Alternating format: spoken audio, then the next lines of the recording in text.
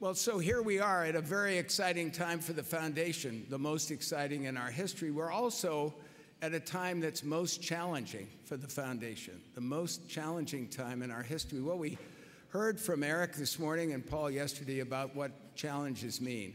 They, they cause you to rise to a new level, to do things you didn't think you could do. And this foundation has been doing that for 41 years, so we're not going to stop now. The challenge that we have is that clinical trials cost a lot more money than laboratory research. It costs a whole lot more to move these clinical trials that are underway now and the ones that are that are in the wings to get them to where we can get FDA approval and, and get them to the marketplace. Uh, so we've been, we're very proud of the fact that over the years we've raised close to $500 million to invest in this research over the last 41 years. That's, as, uh, as Eric taught us today, with a positive, uh, well, with his, his uh, yin and yang, that's the good news. The bad news is we got to raise, because we've had such success, we've got to raise another 500 million or half a billion with a B soon if we're going to move these things forward and get the job done, do our work and get it done.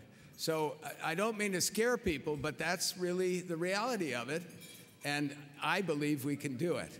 Now, uh, in order to, uh, to position us to do that as, as well and as quickly as possible, the board of directors and the staff took a hard look at every aspect of our organization in, in the last several months.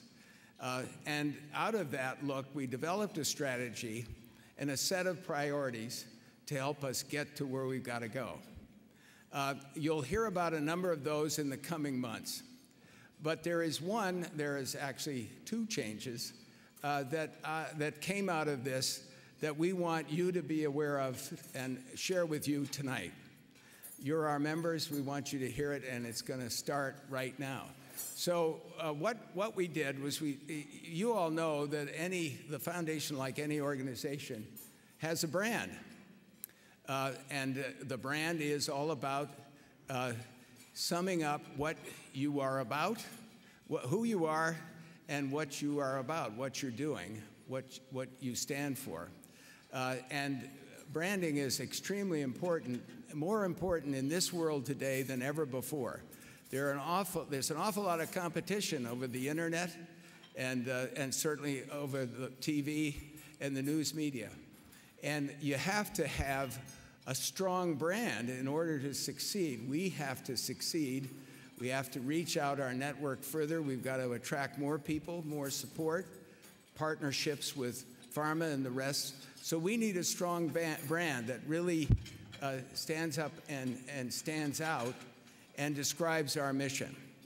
So we took a hard look at that, uh, and we are tonight going to unveil two changes that we're making to our brand. Uh, we've been very fortunate to have the services of the, the world's greatest advertising firm, in my mind, Leo Burnett, uh, worldwide, which uh, I'll, I'll, talk a little bit more about in a minute, but in, in, in developing this.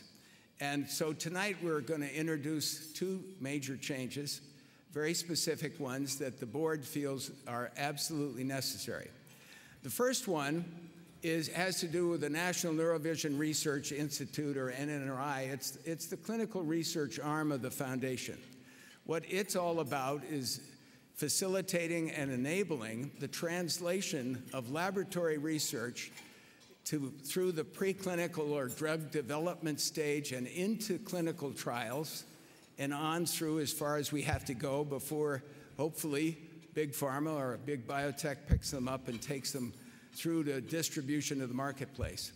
But uh, what we're going to do, since, since it's our clinical research arm, we're going to call it the Foundation Fighting Blindness Clinical Research Institute. So forget NNRI, you won't hear it anymore. We think this makes great sense. Uh,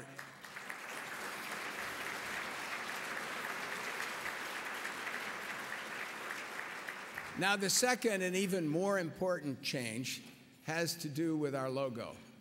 we really need to rebrand this foundation, and that's what all of this is about, a rebranding, so we're in better position to enlarge our network and to reach more people, raise more money.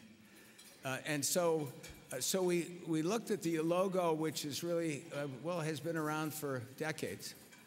And we decided we needed a new logo, a more modern one, and one that was really mission based. What do I mean by mission based? It needs to say at a glance what we do, what we're all about, why we exist, not just who we are, but what we are and what we're trying to do. Uh, so we feel we've got, thanks to Leo Burnett, we had the services of, of this great ad firm. Uh, to, to give you some perspective on how good they are, they're the advertising firm for the Kellogg Company. Now that's pretty darn good. For those of you who know my other interests, but they're also the ad agency for McDonald's and Coke and Procter and Gamble and, and Visa. So they're not doing badly that way either. They're great people.